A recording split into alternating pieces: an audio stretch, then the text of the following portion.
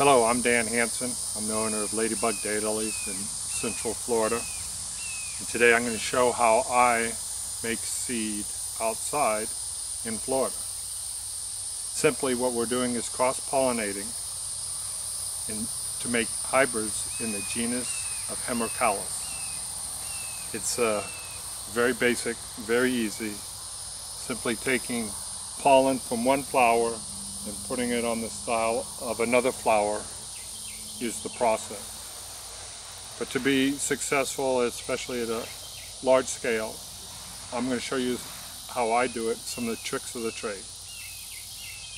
Uh, so I'm going to talk about picking pollen parents, pod parents, the record keeping, actually doing it, and then harvesting the seed.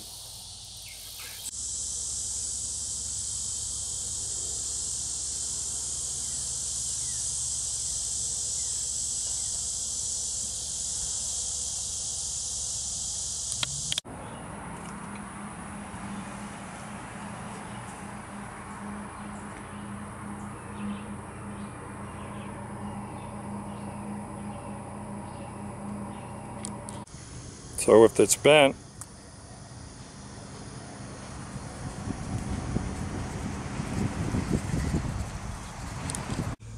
split, split styles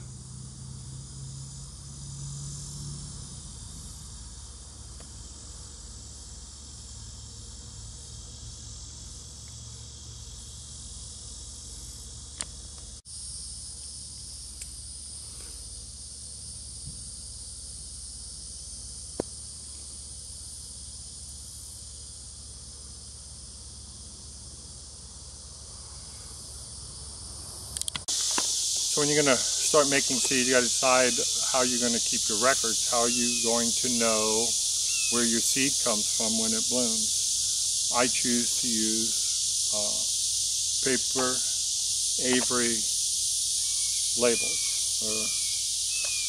one and three quarter inches by one and uh, three thirty second. They're readily available. Uh, they're cheap. They're reusable.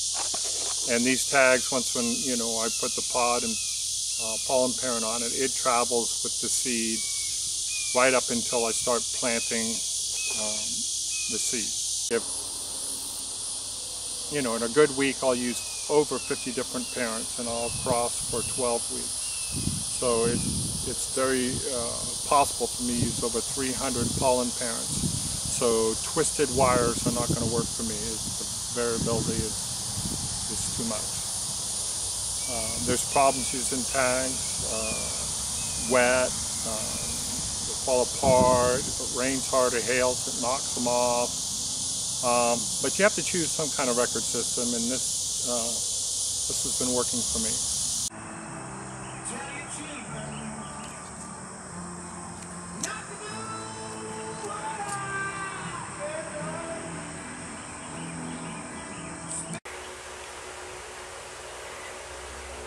That's the pollen, the anthers, and they're on filaments.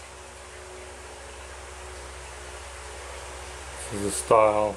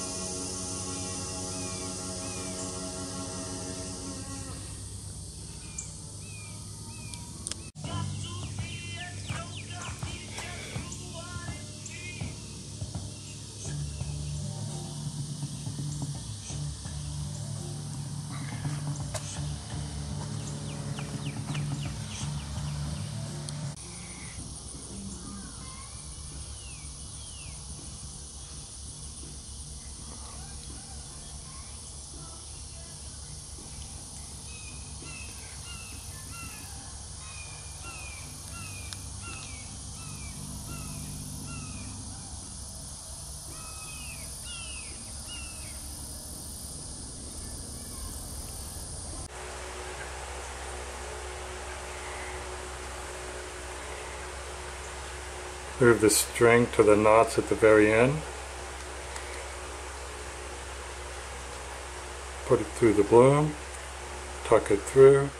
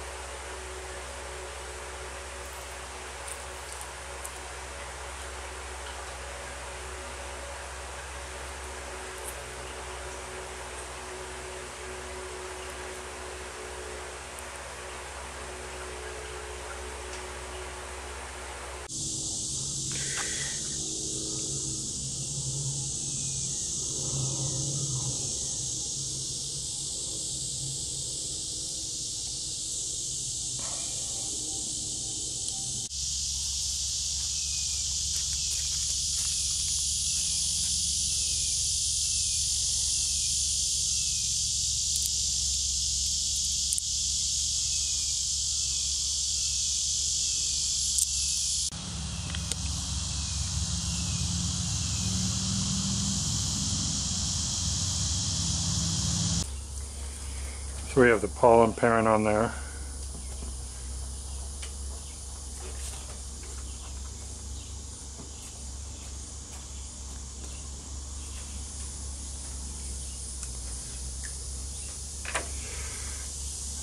And we look through there.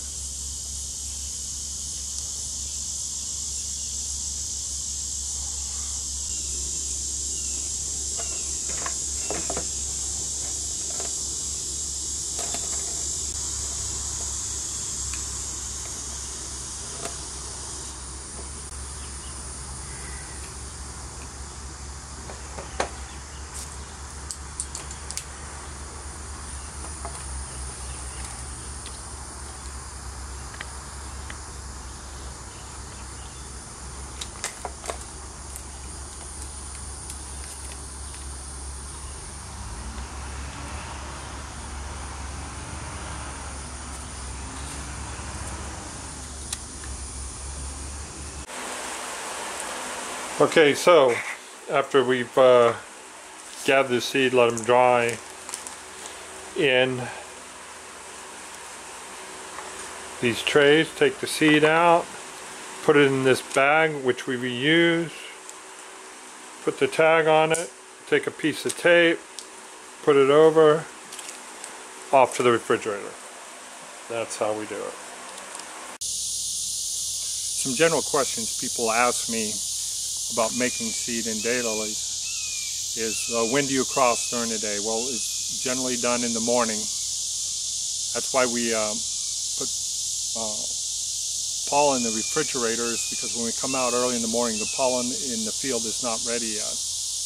The styles are ready to take pollen.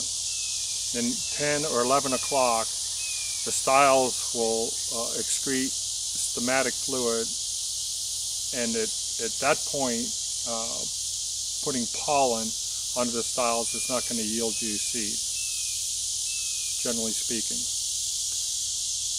So uh, it's an early morning thing. The uh, perfect temperature for crossing uh, that people talk about is 75 degrees. So if you had 75 degrees, you could cross all day long. You know, 75 to 85 degrees is the comfort range for me. I can get seed up to 90, maybe 92 degrees, but much beyond that, and uh, I haven't been uh, very successful. Of course, this is all cultivar dependent. Uh, after I've made crosses, if I can go an hour or two before rain, um, then I'm, I'm in pretty good shape because the stigmatic fluid is going to cover the pollen and actually activate the pollen. And what happens there is, is the quote, sugar in the stigmatic fluid causes the filament to grow out of the pollen grain and run down the style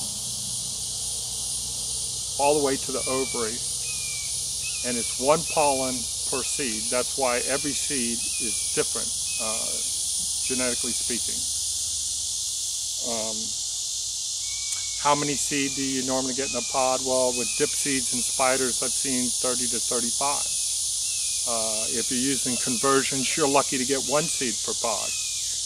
Um, conversions, I'm talking about changing a diploid into a tetraploid through um, um, uh, chemical mutation. Um, an average for me on a healthy plant is going to be about uh, eight to nine seeds. Um, and I feel good with that. Well, thanks for listening to what I had to say about uh, making seed. Uh, it's uh, other ways to do it. Uh, I'd choose not to use shade cloth or a greenhouse, uh, and that's a discussion in itself. So I uh, hope you luck and lots of seed. Bye for now.